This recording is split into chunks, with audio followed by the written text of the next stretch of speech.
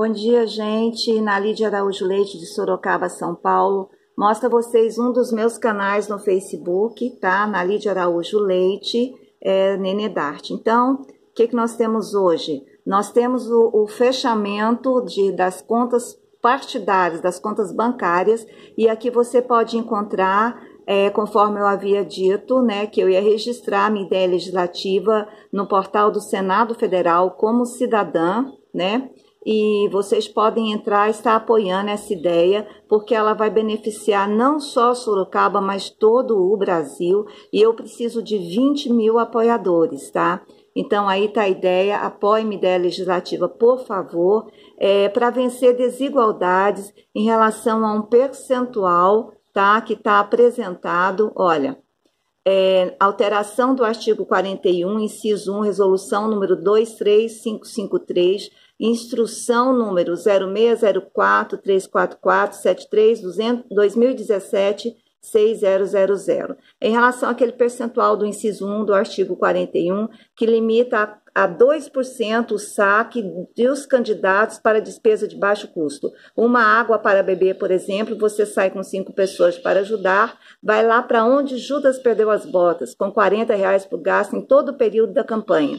Tá? E enquanto uns recebem 40 reais, o que comprova que tem candidato que recebe 3 mil, 2 mil, outros podem sacar 500 reais. O que isso quer dizer? Que outros candidatos recebem 25, 24, 23 mil reais. Então, vamos deixar essa questão, porque é o partido quem decide. O partido não tem limites jurídico-legais.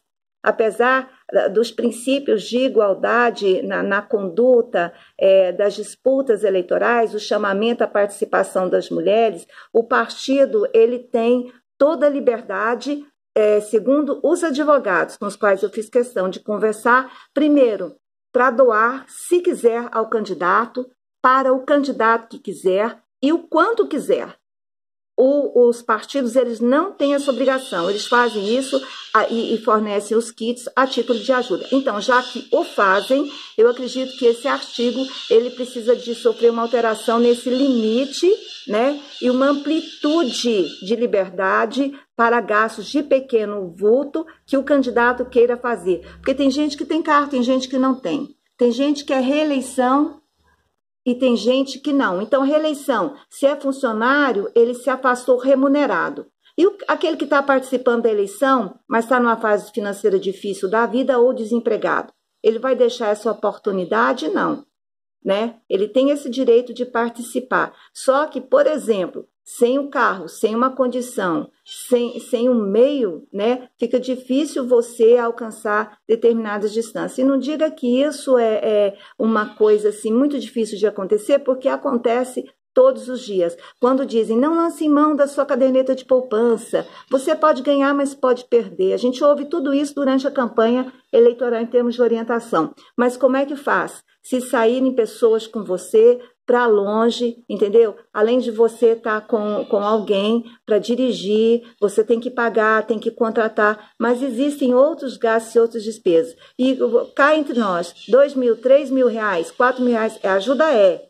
É ajuda, não estou dizendo que não é. Mas eu quero, o que eu estou querendo é a, a mudança desse percentual. Não estou falando mal de partido, não estou falando mal do, do, Superior Tribunal Eleitoral, não estou falando mal de ninguém. Eu quero conseguir esta mudança, porque eu achei extremamente humilhante, certo? Uma, é, é, é, quando eu ouvi que o limite seria entre 500, 400, e no final das contas, em verificando 2% do que eu recebi, resultava o quê? Em torno de 40 a 60 reais. Eu falei, isso é impossível, tá? Outra coisa, conforme eu disse a vocês, estou devolvendo. Foi só essa ajuda que eu recebi e foi do partido. Não foi de empresa, eu tentei empresa e eu não consegui. Nenhum cidadão de Sorocaba achou que é, é, seria válido para mim doação, nem de Sorocaba, nem é, é pessoas que eu apoio ao longo de mais de 10 anos, senadores, deputados, governadores, toda aquela rede de comunicação que eu faço, publicando as notificações que me chegam, né? Comentando, fazendo matérias em blog. Quer dizer, eu não fui digna, né? Segundo a resposta deles à minha candidatura, a qualquer tipo de ajuda ou doação. Estou devolvendo tá? É o fundo especial, tá aí, ó, mês atual, tá aí bem direitinho para todo mundo ver. Outra questão, comprovando, portal do CIAF, tá aí. Portal do CIAF, tá? Eu tô aí fazendo a devolução. Campo obrigatório do valor, conforme eu disse que eu iria fazer. E mais ainda, mostrando para vocês agora, tá? Quando abre a conta, nós recebemos talão de cheque. Essa é a conta, é uma das contas, tá aqui. Tá aqui. 66973, nem fiz o talão, tá? A 6673, deixa eu ver qual delas é. É a fundo de doação de campanha. Tá aqui. Não tive nenhuma doação, tô anexando aqui, tô juntando, tô devolvendo. Vamos ver a outra conta aqui. O fundo especial é esse, né? No qual foi depositado o dinheiro, é, que tem a finalização. Vamos ver, seis. Tá aqui, finalização seis.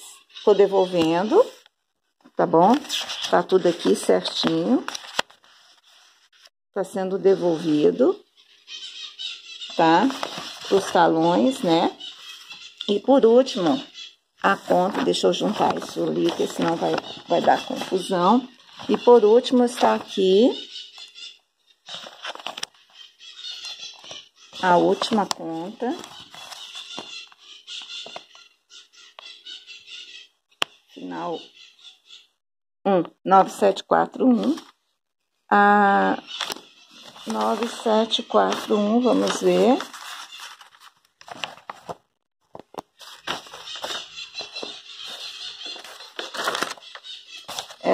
3 aqui. Fundo partidário. Também tá aí o, o, o talonário.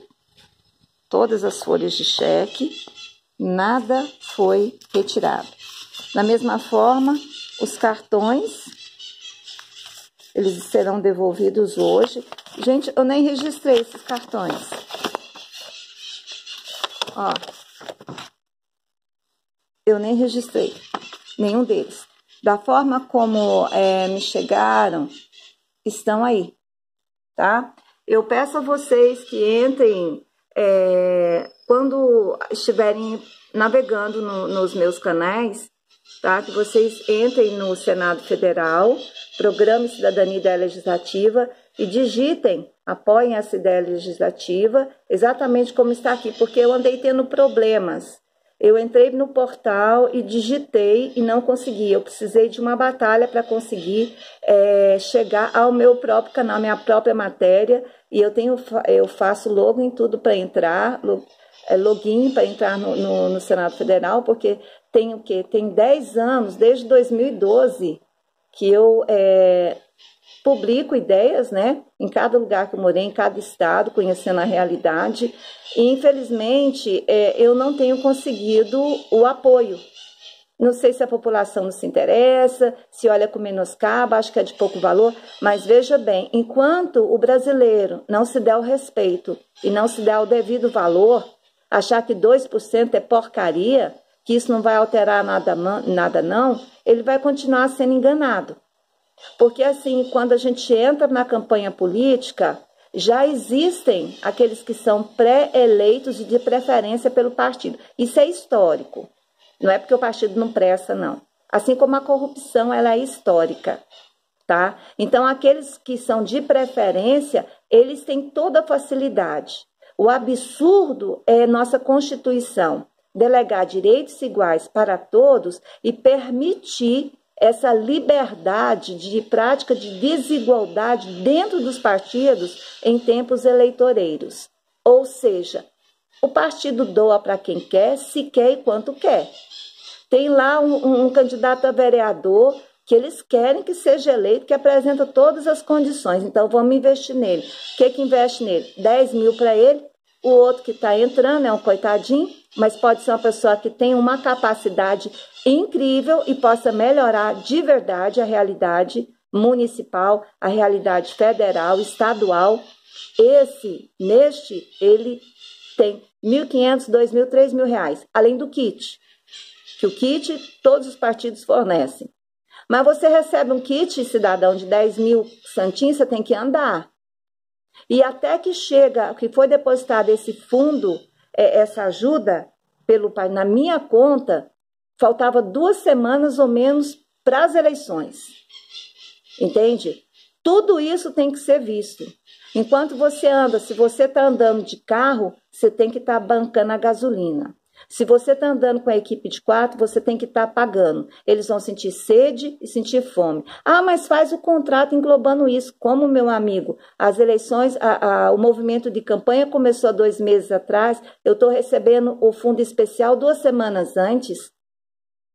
Sabe? Então é impossível você não ter gastos. É impossível. Agora, absurdo é você receber 40 reais como fundo reserva de caixa, né? 40 reais você tem que sair com uma equipe para trabalhar, todo mundo sentiu sede, todo, todo mundo sentiu. Então, pega aí umas duas garrafas, três garrafas cada vez que você sair com os copos e distribui para o pessoal encher a barriga de água, porque nem para pagar um alimento qualquer, uma coisa qualquer dá, serve, né? Então, assim, tem coisas que, enquanto a gente sabe e tem convicção que tem candidato por aí, não digo, não estou falando de Sorocaba especificamente, estou falando do Brasil, que até rodada de cerveja, contador dá a volta e encaixa nas despesas. Rodada de cerveja, churrascada, festa, tudo por debaixo dos panos a gente sabe que acontece. Ah, eu gastei tanto, aí tive que gastar. Dá um jeitinho. O, o contador vai e dá um jeitinho sabe? Não estou dizendo que são todos os contadores também. Estou dizendo uma realidade nacional todo mundo conhece.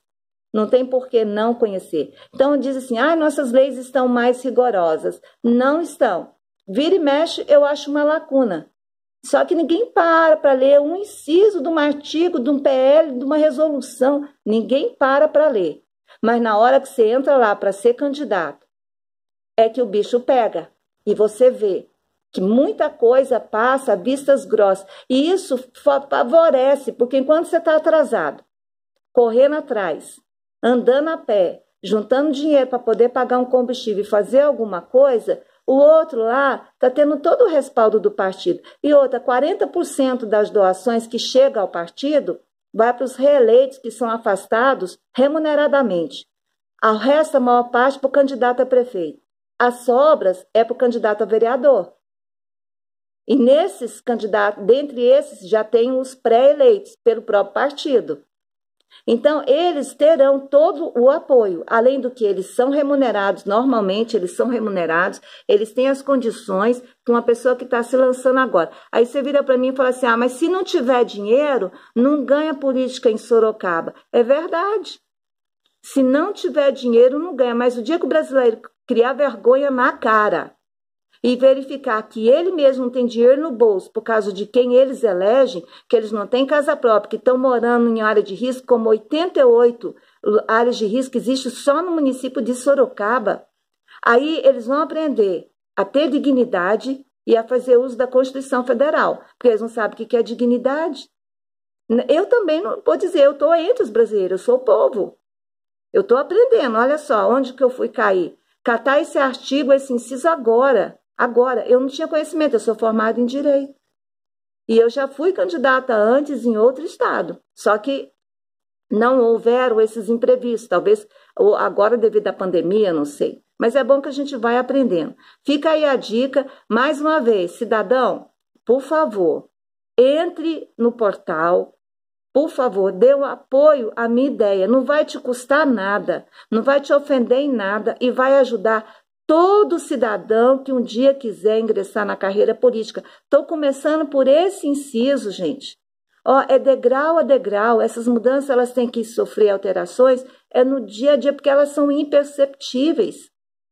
Ai, mas uma, um, um fundo caixa, um fundo reserva. Poxa, vocês não sabem o que pode gerar esse fundo reserva caixa. Vocês não têm ideia. Enquanto coitadinho tá lá sem ter um centavo para beber uma garrafinha de água, tem gente aí, ó, é, na boa, comemorando já desde já, muito antes, a decisão que você, eleitor, vai cometer nas urnas. Isso para mim é falta de respeito, tá? Então fica aí a dica. Não estou falando, nem mal falando de ninguém. Estou dizendo a verdade, tá? Deixo com vocês aí essa publicação para que vocês, é, em sã consciência, nos ajudem aí a vencer essas batalhas. Na Lídia Araújo Leite, Sorocaba, São Paulo, Brasil.